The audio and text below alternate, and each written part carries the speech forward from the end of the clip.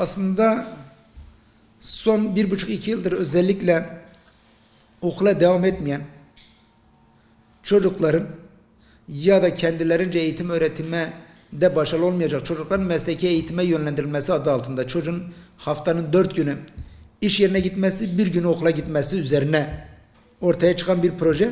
Biz eğitim sen olarak da evet mesleki eğitim önemlidir, değerlidir. Buna yönelik çalışma yapılması lazım.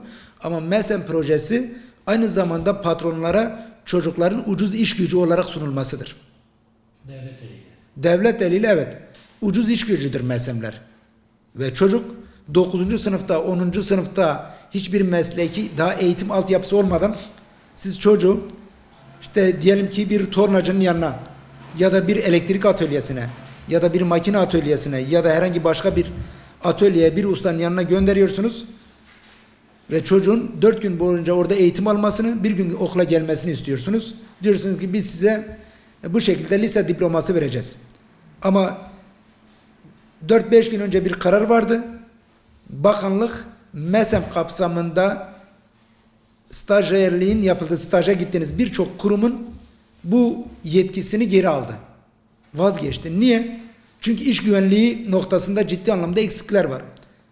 Ki zaman zaman özellikle staja giden bu öğrencilerimizin işte geçen yıl yaklaşık 8, 7 veya 8 tane çocuk bu tür eğitim uygulamasında iş yerindeyken ya kolunu tornaya makinesine kaptırdı, ya elektriğe çarpıldı, ya yüksekten düştü, yaşamını yitirdi. Bu ayrı iş güvenliği noktası, iş sağlığı ve güvenliği noktası ayrı bir problem.